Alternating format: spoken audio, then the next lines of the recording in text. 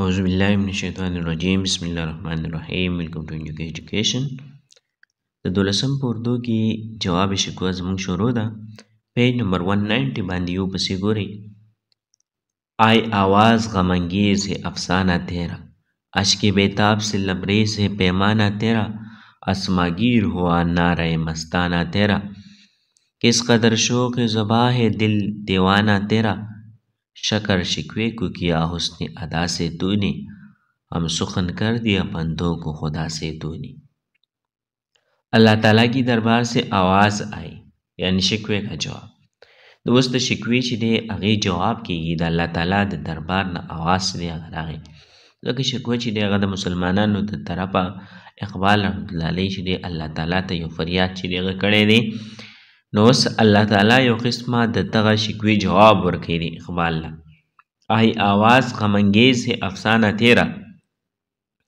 نو ده ته آواز راغی د الله تعالی د دربار نه چې غم انګیز غمو سه بری هوی افسانه تیرا چې ستا د افسانه ستا د ګیلا ستا له شکوا ستا له شکایت ستا د فریاد چې دی دا د غمونو نه ور ډک دی دا د فریادونو نه ډک دی چې په دې کې تا د مسلمانانو فریاد کړی دی په دې کې تا د مسلمانانو غم چې دی هغه راوړی دی نو د الله تعالی د دربار نه د آواز شو اشک بیتاب سے لبریز پیمانه تیرا اشک بیتاب بیچین آن سو جو آنکو سے خود په خود عمر آتے هي بیچینه اوخکي کم چې د سترګو نه پخپله روزي پخپله چې هغه بهیږي لبریز کنارو تک پرا هوا چې هغه د مورګو پورې د کنارو پورې ټکي پیمانه صبر کا پیمانه او وی اقبال ته وی چې ستا دا افسانه چې دا ستا دا شکایت او ګیله دا اشک بیتاب ده یعنی دا بیچین انسونه ډکه ده چې په دې کې بیچین انسو دي یعنی ستا په دې افسانه کې بیچینی او بیقراری چې دی هغه پرته ده د هغې نه دا ډکه ده او دا د صبر پیمانه ده چې ته په دنیا کې چې دی دا مسلمان چې دی دی صبر کوي دی برداشت کوي او دی چې دی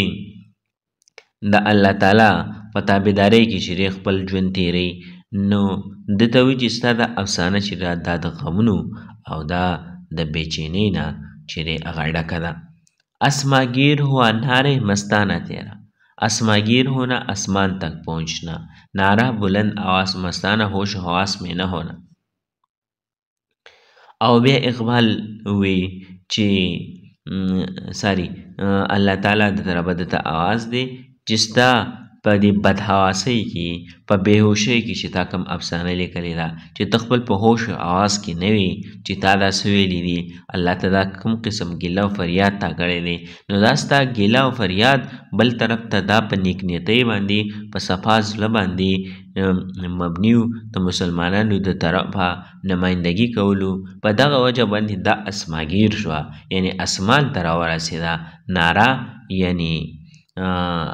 بلند اواز یعنی شکوا ګیله او فریاد چې د اسمانونو ته راورسېده کس قدر شوخ زبا ہے دل دیوانه تیرا او بیا د الله تعالی طرفه دته ویل کی چې کس قدر یعنی حد سے زیاده یعنی ایسا نه ہونا چاہیے چې ستا چې کومه ژبه په دې شکوې کې استعمال کړې ده نو الله تعالی په دربار کې داسې قسم شکوه چې دغه نه کېږي الله تعالی د دربار آداب چې دغه جدا دي نو تا له داسې ژبه استعمالول نو په کار د شکوې او د شکایت په دغه کې تا شوخ زبان استعمال کړی دی یعنی بی باکه شریره ګستاخه ژبه ستا استعمال ده دل دیوانه تیرا دل کا جنون او زړه چې دی هغه دیوانه دی زړه چې دی هغه مجنون دی زړه ستا پاګل دی چې ستا زړه چې دی هغه د پاګلپن ښکار دی نو په دغه وجه باندې تا شوخ زبان استعمال کړی دی او دومره زیات دی چې دومره شوخ زبان استعمالول چې دی هغه نه پکار شکر شکوې کو کیا حسن ادا سے تو نے او بیا ته وی چې شکر یعنی اچا لګنا میټه شکوې ګیلا یعنی خفا هونه او ستاره شکوه چې دا هغه نه شکر جوړ کړي دي هغه خلګي هغه میټه هغه خولې ده په څه وجه باندې حسن ادا سې تو نې چې دا حسن ادا په هغې کې استعمال کړې ده یو قسمه ادا دې استعمال کړې ده چې هغې سره به دې شکوه کې حسن پیدا شوی دی بات کو خوبصورت انداز سې بیان کرنا چې تا خبر ډېر په ښکلي انداز سره چې دغه بیان کړې ده ترتیبوال د مسلمانانو ذکر دې کړی دی د هغو د تاریخ او د هغو د زوال ذکر دې کړی دی نو ډېر ښکلی انداز ډېر ښکلي خبرې ډېر ښکلي طریقه چې دی هغه دې خپله کړې ده د هغې د وجې نه شکوا د هغې نه شکر د هغې نه میټه د هغې نه ګوړه د هغې نه ښکلوالی او دا دې جوړ شوي دي نو هغه ښه لګي هم سخن کر دیا بندو کو خدا سے تو نی او بیا ته وایي چې هم سخن کرنا هم کلام کرنا سخن بعد گفتگو ته ویل کیږي بندو کو خدا سي تون چې بندیان تا الله تعالی سره هم کلام کړو چې د بندیانو فریاد او ګیله د مسلمانانو هغه ته الله تعالی ته راورسوله او الله تعالی یو قسمه د دې جواب کوي نو داسې دا لکه چې بندیان او خدای په منځ کې خبرې کوي یعنی بندیان چې د الله تعالی سره د هم کلام کړو الله تعالی ته دې د بندیانو فریاد ورسو الله تعالی چې دی اوس دغه فریاد اوري او الله تعالی د دغه فریاد چې دی هغه جواب ورکوي ښه بیا په شکوه کې اقبال چې دی فریاد کړی دی شکوه مې اقبال نه ګیله کې په شکوه کې اقبال چې دی ګیله کړې ده که الله همې راه دکلای چې الله تعالی مونږ ته لار وښایي الله نه جواب دی کیسې الله تعالی جواب ورکړی دی چې چا د لارو هم جواب شکوه کې اوس دلته دا جواب دی هم تو مایل بکرم هي کوئی سائل هي نه نو الله تعالی وی مایل بکرم کرم کرنا چاهته دی چاهته هي چې زه کرم کول غواړم زه خو په خپل بنی آدم په انسان باندې مین په هغه باندې رحم کول غواړم کوئی سائل هي نه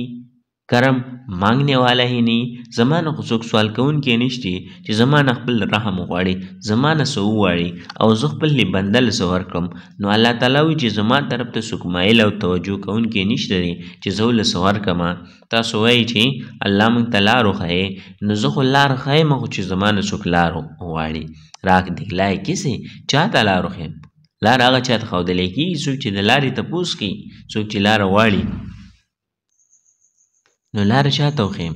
مسلمان خو بې لارې دی دی خو بټکا هوا دی الله طرف ته توجه نشتی الله نه خپل څه نه غواړي الله نه چې دی لار نه غواړي نو لارې چاته وخیم راهرو منزل هی نهی راهرو رهروې رهروې منزل هی نهی رهروې یعنی راسته پر چلنې والے په لاره باندې تلونکي نشتی چې زه یې په هغه لاره باندې بوځم زه ورته سیده لار وښیم منزل کی طرف جانې والا د منزل طرف ته تلونکي نشتي چې هغه منزل ته ځي زه هغه منزل ته ورسوم خپل منزل مقصود کې کامیاب کم نو الله وی چې دغه سه مسلمان نه دی پاتې هغه سه مسلمان وس نشته لري چې زه بس ملار باندې کم تربیت عام تو هي جوهر قابل هي نه تربیت عام تو هي یعنی سب پړ رہے ټول چې دې کرم او مهرباني غواړي خو د کرم او د مهربانۍ لپاره څوک کوشش نه کوي جو هر قابل هي ني ماهر صلاحیت یا خصوصیت نه هي ماهر صلاحیت او خصوصیت چې دی هغه پکې نشتی بادشاهت ټول غواړي خو صلاحیت پکې د بادشاهت نشته دی هنر هر سړی غواړي خو د هغې سکیل پکې نشته دی ماهر صلاحیت او خصوصیت د هغه پخواني مسلمانانو په شان په هغوی کې نشته دی جسې تعمیر هو آدم کی هو ګل هی نه او د کومې خاورې نه چې آدم علیه السلام جوړ شوی نو دا هغه خاوره نه ده یعنی آدم علیه السلام کې چې کوم خصوصیات نو په دې انسان کې هغه خصوصیات او هغه خوبیانې نشته دی نو زه څنګه دوله چې دی د دنیا کامیابیانې ورکم د دنیا پاچاهات ورکم د دنیا سیزونه ورکم دو ته لاره وښیم په دو کې هغه څه نشته او د هغه څه دپاره دو کوشش نه کوي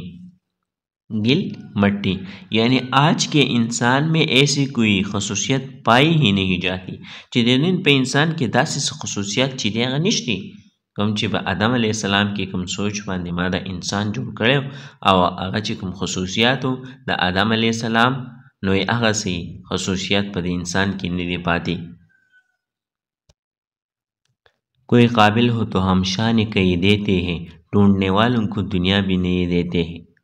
کوئی قابل ہو قابل یعنی ہنر کمال صلاحیت اور قابلیت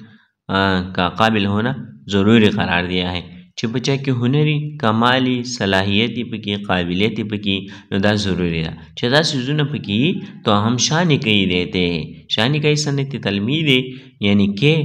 خاندان د ایران چې دی غیادی کیانی خاندان چې اوله چې الله تعالی لوی مرتبه ورکړي او نو الله وی چې داسې مرتبه به ورکوم خو چې په چا کې سنر او صلاحیت او د هغې لپاره کوشش کوي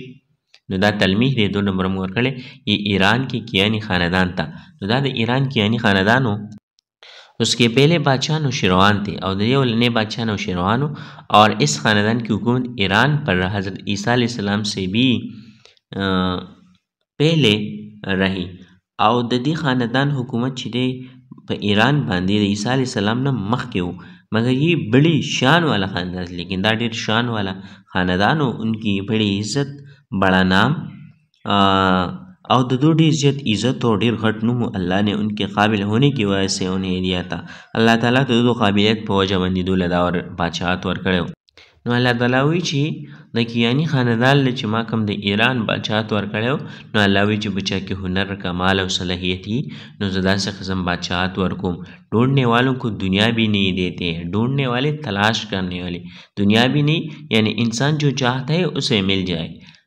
چې څوک غواړي نو هغه له زه نوې دنیا ورکوم هغه له زه هغه څه ورکوم چې هغه سره مخکې نه یعنی انسان جو چاته اوسه مل جای چې انسان څه غواړي نو انسان له زه هغه هر څه ورکوم خو چې انسان زما طرف ته طرفداري انسان چې دی زما عبادت کوونکې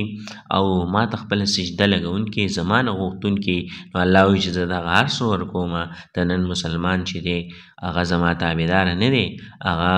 زما ته چې دی سجده نه ږدي زما نه نه غواړي نو زه څنګه چې دی لار وښیم زه څنګه دا خلکو له ورکم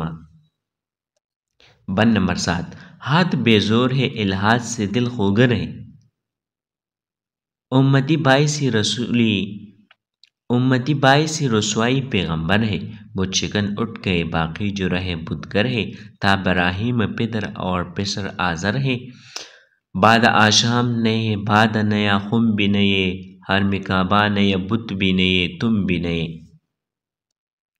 هات بې زوره هاتو مې طاقت او قوت نه نو الله تعالی د نن مسلمان ته وي چې نن دا هغه مسلمان دی چې د په لاسونو کې هغه طاقت او قوت نشتی کم چې ساسو په اسلاب کې ساسو په آبا او اجداد کې چې هغه په لاسونو کې دومره طاقت او قوت چې هغه دنیا فتح کړې و د دنیا مختلف ملکونه هغه فتح کول د دین د پاره چې یو قربانیانې ورکولې نو نن مسلمان په لاس کې هغه طاقت او هغه قوت نشته الحاد سه دل خوګر ہے الحاد دین سه پیرجانا کفر کرنا او نن د دین د پاره کوشش نه کی د دین نه مسلمان اوخته دی د دین د پاره چې دی قربانیانې نه ورکي نو الحاد سه دل خوګر ہے عادي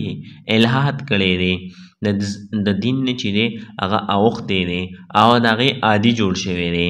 یعنی نوری طور طریقی چی دی مسلمان د کفارو هغه اختیار کړی دی امتی بایسی رسوایی پیغمبر امتی حضور صلی الله علیه وسلم کی امت سے تعلق رکھنے والے چې هغه خلک کم چې د نبی علیه السلام د امت سره تعلق ساتي مسلمانان نو باعث رسوای پیغمبر هغه د پیغمبر د پاره رسوا جوړ شوی دی مسلم مسلمان چې دی هغه د خپل پیغمبر سره هغه محبت او مینه نشتی او هغه داسې ګناه کوي باعث رسوای یعنی بڑے بورے کام بد بد کارونه کوي ګناه کرنا د ګناه کارونه کوي عزت نه کرتے خپل د پیغمبر عزت او احترام چې دی هغه نه کوي بلکې خپل پیغمبر چې دی هغه یو قسمه رسوایي چې دی هغه یې ګرځولی دی او پیغمبر د کوم امت لپاره چې هغه دعاګانې غوښتلې دي او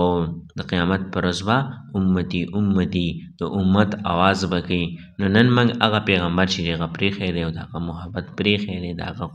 د هغه سنت چې دی هغه موږ پرېښي دي نو په دغه وجه باندې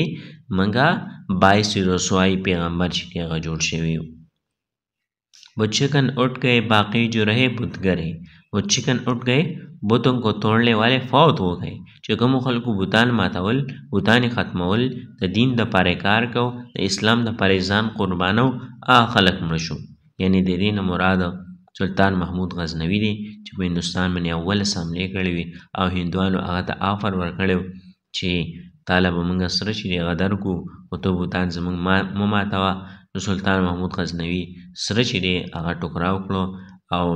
هغه بوتان چي دی هغه خس خس کړو نو بت شکن اټ ګئه نو هغه خلک لاړ چي هغه به بوتان ماتول د اسلام دپاره به یې فتحې موندې باقی جو رهې بوتګرهې. باقي یعنې هم موږ مسلمانان چې کوم پاتې شو بتګر یعنې موږ بتګر یو موږ د بتانو عبادت کوونکي یو یو قسمه او دغه عبادت څه دی سوپر پاور چې سوپر پاور ته موږ لاس نیول دی سوپر پاور طرف ته چې موږ توجه کو نوکري خپل نوکریانو طرف ته توجه ده او مال طرف ته توجه ده کاروبار طرف ته توجه ده تعلیم طرف ته توجه ده هر څه چې دي موږ ویو چې دا موږ ځانه کوونکي یو او الله طرف ته توجه نشتی الله نه موږ دا سیزونه نه غواړو مهنت سره د الله نه غوښته چې دغه په کار ده نو یو قسم موږ بوتګر جوړ شو یعنی دا زموږ یو قسم بوتان دي چې موږ یو قسم د دې عبادت کو او ټوله توجه دې ته ده او الله چې هغه موږ پرې خیرې تا براهیم پدر اور پسر آزر ہے او نن سیستم چې هغه الټه شوی دی چې ابراهیم علی السلام زوی او آزاد چې دغه پلار وو آزر به بوتان جوړول ابراهیم به بوتان ماتول ابراهیم چې دی هغه به आवाज کو په کوسو کې بوتان به خرڅول چې دا هغه بوتان چې دا چاله هیڅ نشي ورکولای نو نن سیستم الټا دی ابراهیم پلار جوړ شوی دی او پیسر چې دی هغه آزاد چې دی هغه زوی جوړ شوی دی سیستم الټا شوی دی نو سیستم داسې الټا دی چې نن موږ ټول چې دی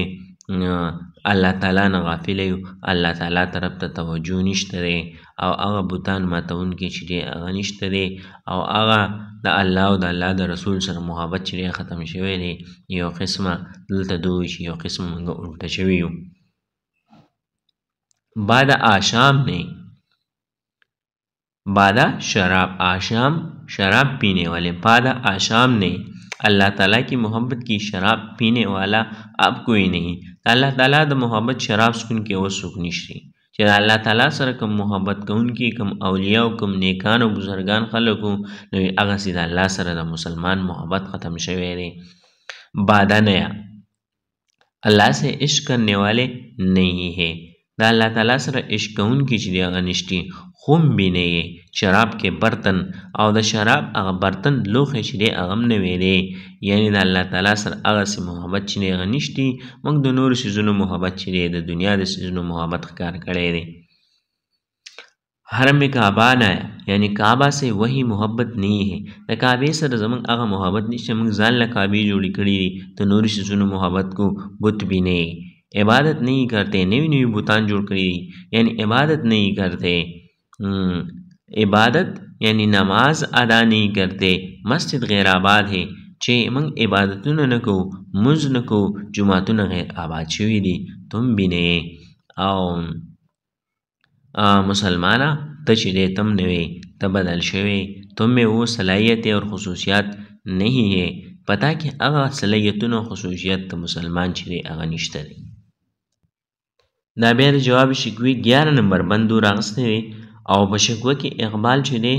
دا شکایت کړی دی دا ګیلې کړی دا کې صفای دهر سه باطل کو مټایا هم نه نو انسا کو غلامی سه چړایا هم نه تیرې کعبه کو جبینو سه بسایا هم نه تیرې قرآ کو سینې سه لګایا هم نه پھر بیا هم سه یې ګیلای کې وفادار نه هم وفادار نه تو به تو دلدار نه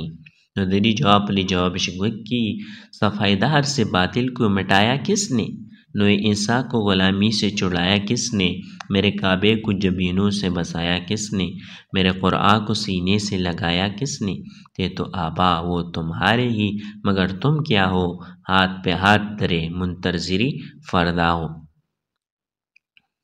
نو اقبال په شکوه کې ویلي دي اقبال له شکوه مې یې دعوه کیا تا اقبال په شکوه کې دا دعوه کړې د دې د دې شعرونو تشریح دی کې هم نه دنیا سه باطل کو مټایا چې موږ د دنیا نه باطل چې ختم کو او نو انسان انسانی کو غلامی سه جوړایا او انسان چې موږ د غلامۍ نه آزاد کو اب اس کا جواب ہے یعنی مسلمانو سے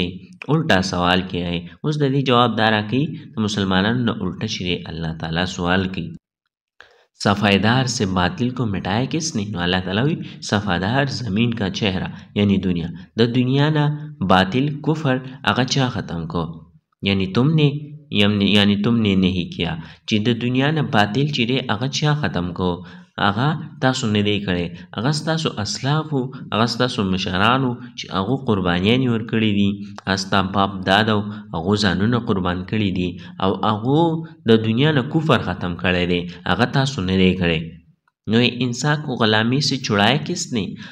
نو یې انسا پوری انسانیت غلامی شخص کو خرید کر ساری زندگی غلام بنانا چې یو سړی واخلي ټول ژوند بیا غلام نو انسانیت چې دی هغه د غلامۍ نه خلاص کړی دی نو هغه چا خلاص کړی ای مسلمانه د نن دور مسلمان هغه تا نه دی خلاص کړی هغه ستا آبا او اجداد هغه ستا اسلاف چې دی هغه خلاص کړی دی هغه خو ته نه وي